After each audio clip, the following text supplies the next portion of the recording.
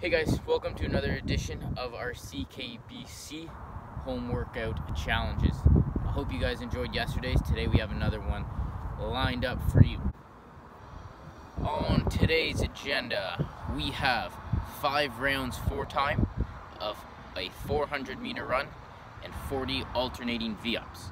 If we do not have the ability to map out a 400 meter run, then I want you guys to run for about two minutes at a challenging pace.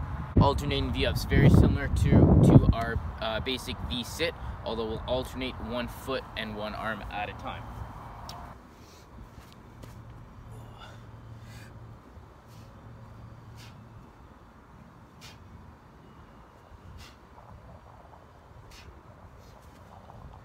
So what we want to make sure of is again we're finding that balancing point between our sit bone and our tailbone.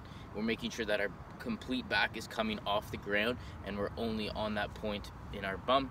Uh, we'll feel it nice and good in our core after a couple rounds uh, and let's make sure that we push ourselves in the run. If it's feeling easy, go harder in that run. Try to get those reps done quicker. Have fun. I'll see you guys tomorrow.